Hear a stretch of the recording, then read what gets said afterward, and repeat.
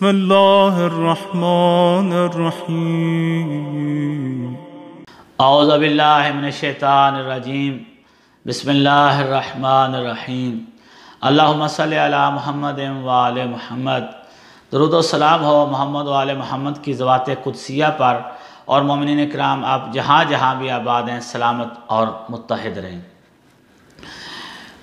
ईद के दिन सबसे बड़ा अमल बताया जा रहा है, जो हर मोमिन को अंजाम देना चाहिए। इससे बड़ा अमल ईद के दिन और कोई नहीं हो सकता।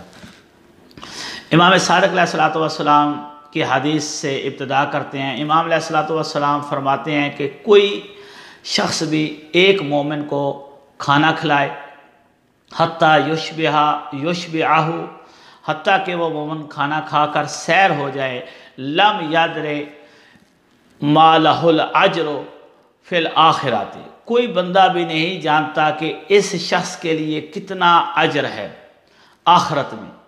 ला मलकन मुकर्रबन वला नबी मुरसल। ना मलक मुकर्रब जानते हैं और ना ही अम्बियाए मुरसलीन जानते हैं कि इस बंदे के लिए कितना सवाब इसके नामा अमाल में लिखा जाएगा। कराम जितने भी अमाल बयान करते हैं, ये अमल कीजिए, ये इनाम मिलेगा। ये स्वाब है। ये वजीफ़ा अंजाम दीजिए, ये स्वाब है, इसका ये अजर है। अमाल का अजर और स्वाब ज़िक्र करते हैं। लेकिन एक मोमिन को खाना खिलाना हती कि वो सैर हो जाए तो इस शख्स का स्वाब और अजर सवाए अल्लाह की ज़ात के और कोई नहीं जानता। मलक मुकर्रब नहीं जानते अम्बिया मुरसलीन नहीं जानते। ईद के दिन मुस्तक मोमिन को खाना खिलाना, इससे बड़ा कोई भी आज का अमल नहीं हो सकता और इससे ज़्यादा सवाब और कोई भी नामा अमाल में आज के दिन अगर आप लिखवाना चाहें तो कोई और अमल नहीं हो सकता।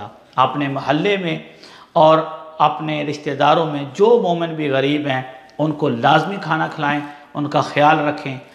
इसी वजह से फितरा को वक्त पर अदा करने की ताकीद की गई है ताकि गरीब मोमिन का ख्याल रखा जा सके। रवायत के लफ्ज़ हैं रावी से इमाम फरमाते हैं, इन आतता कबला तखरुजा ईद फ़ाह या फितरा तुम। अगर आप नमाज़ ईद पढ़ने से पहले पहले मुस्तकिन तक उनका हक पहुँचा देते हैं तो ये फितरा शुमार होगा।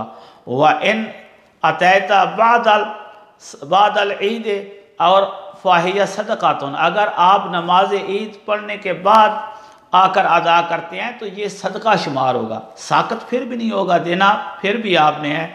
लेकिन अब ये फितरा नहीं, सदका शुमार हो रहा है। तो वक्त से पहले अदा करें फितरा, ताकि मुस्तक मोमिन का इस दिन ख़ास तौर पर ख्याल रखा जा सके। आखिर में मोमिन से इल्तमास है। दुआओं में याद रखा करें। वालकम वरहमल वर्का